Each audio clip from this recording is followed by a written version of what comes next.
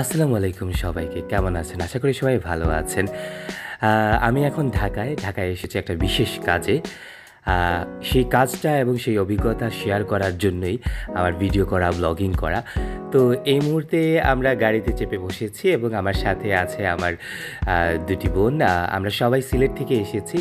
ঢাকায় আমরা ভোরবেলায় এসে পৌঁছেছি একটা বিশেষ কাজের উদ্দেশ্যে।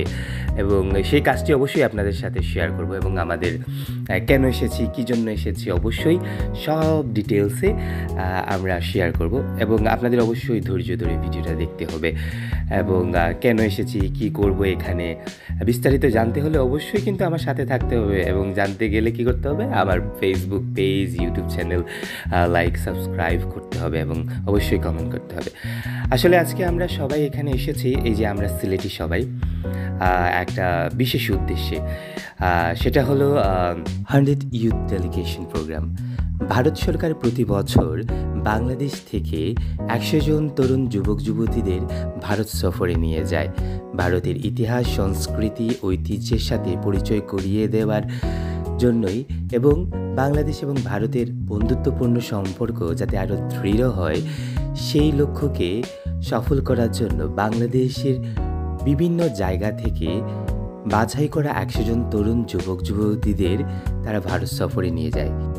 ভারতের বিভিন্ন দর্শনীয় স্থান পরিদর্শনের পাশাপাশি ভারত সরকারের বিভিন্ন গুরুত্বপূর্ণ ব্যক্তিবর্গের সাথেও সাক্ষাতের ব্যবস্থা করা হয় এবং সেই সাথে মহামান্য রাষ্ট্রপতি বা প্রধানমন্ত্রীর সাথেও সাক্ষাতের ব্যবস্থা করা হয়।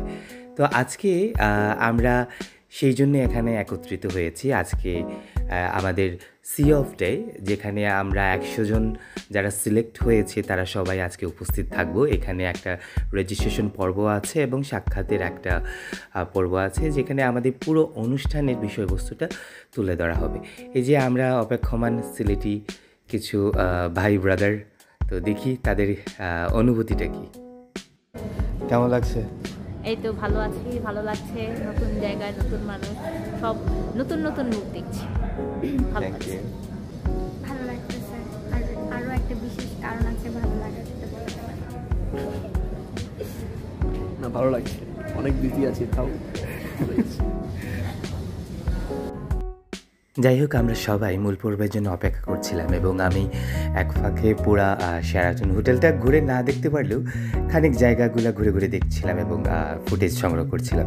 এই যে সবাই লাইনে দাঁড়িয়ে গেছে, যথারীতি এখানে আমাদের একটা রেজিস্ট্রেশনের পালা চলছে। আমাদের এখানে একটা আইডি কার্ড দেওয়া হবে এবং আমাদের একটা স্কেজুয়াল শিট দেওয়া হবে।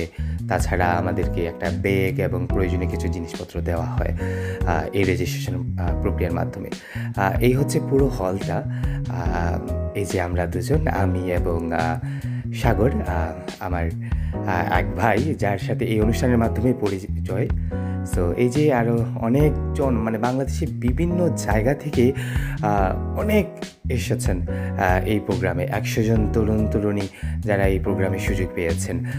ইতিমধ্যে আমাদের এই অনুষ্ঠানে আমাদের মাননীয় সড়ক ও জনপদ মন্ত্রী উবায়দুল কাদের তিনি উপস্থিত হয়েছেন। সেই সাথে আসলে এখানে আরেকটা খুব সারপ্রাইজের ব্যাপার হলো গিয়ে যে এই অনুষ্ঠানে বাংলাদেশের বিভিন্ন পর্যায়ের খ্যাতনামা ব্যক্তিবর্গরা উপস্থিত ছিলেন, যেমন আরফিন শুভ আমরা জানি বাংলা সিনেমার অন্যতম জনপ্রিয় নায়ক এবং মাননীয় মন্ত্রী তো ছিলেনই, সেই সাথে আপনার অনেক সেলিব্রিটিরাও ছিলেন আমাদের এই অনুষ্ঠানে। পুরোপুরি অনুষ্ঠানটা আমরা আসলে খুব এনজয় করেছিলাম মানে বলার অপেক্ষা রাখে না।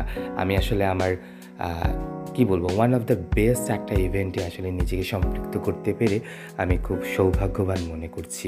এত বড় একটা প্রেস্টিজিয়াস প্রোগ্রামে আমি নিজেকে মানে একটা ক্ষুদ্র অংশ হতে পেরে আসলেই আমি খুব সৌভাগ্যবান মনে করেছি মানে মনে করি।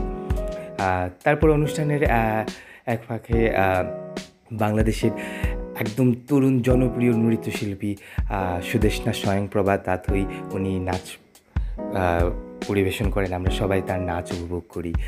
এবং তাছাড়া বাংলাদেশের অন্যতম প্রখ্যাত নৃত্যশিল্পী মনিরা পারভিন, তিনিও কাথাকের আঙ্গিকে একটা নাচ পরিবেশন করেন, আমরা উপভোগ করি।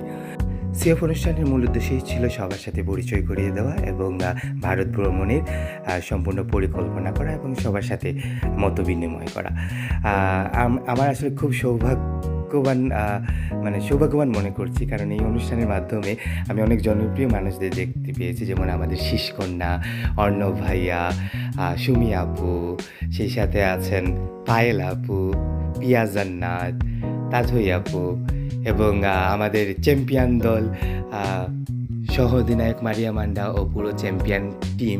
মানে আমি আসলে খুব সৌভাগ্যবান, এই অনুষ্ঠানের মাধ্যমে আমার এই চ্যাম্পিয়ন টিমটাকে আমি দেখতে পেরেছি। আসলে টিভিতে তাদের অনেক সংবর্ধনা দেখেছি, কিন্তু এই অনুষ্ঠানের মাধ্যমে হলেও তাদের খানিক অংশকে আমি সরাসরি দেখতে পেরেছি। তো এই অনুষ্ঠানে একটা ফাঁকে আমাদেরকে নাস্তা পরিবেশন করা হয়। আমরা সবাই হেঁটে হেঁটে যে যার মতো করে নাস্তা খাচ্ছিলাম এবং এক এক মানে একজন আরেকজনের সাথে পরিচয় হচ্ছিলাম এক এক জায়গা থেকে। পুরো অনুষ্ঠানটার ধরনটাই অনেক ডিফারেন্ট ছিল।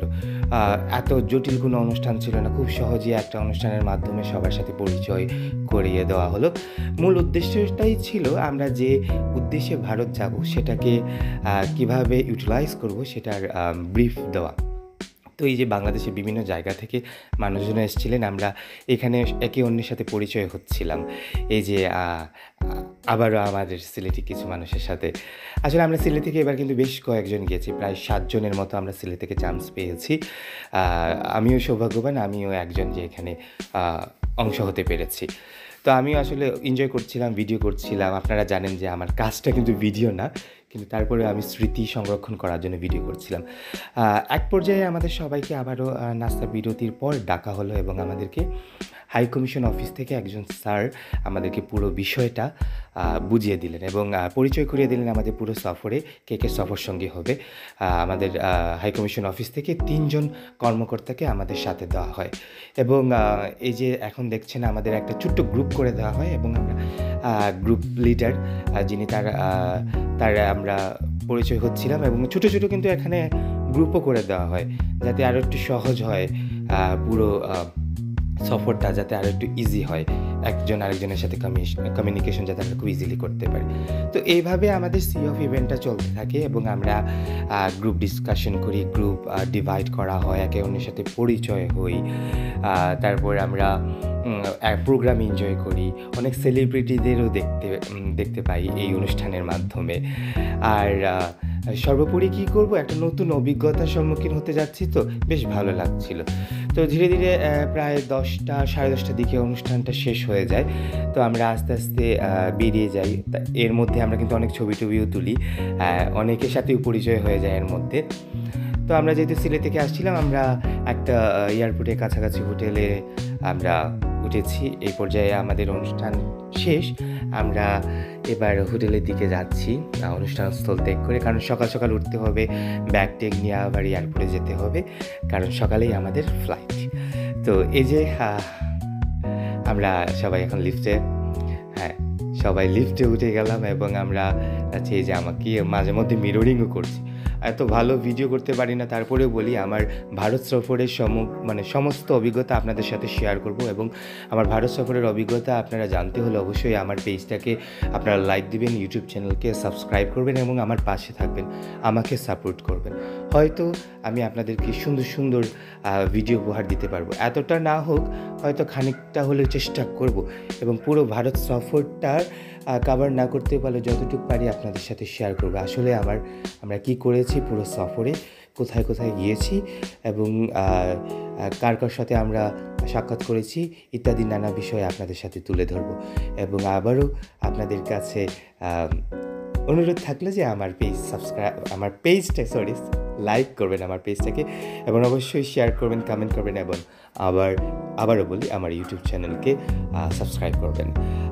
ডোন্ট ফরগেট দিস ওকে এবং কাল থেকে শুরু হবে নতুন একটা জার্নি নতুন নতুন অভিজ্ঞতা শেয়ার করব আপনাদের সাথে। সেই পর্যন্ত আমার সাথে থাকতে হবে। আর অবশ্যই আমাকে বেশি করে সাপোর্ট করতে হবে। ধন্যবাদ সবাইকে।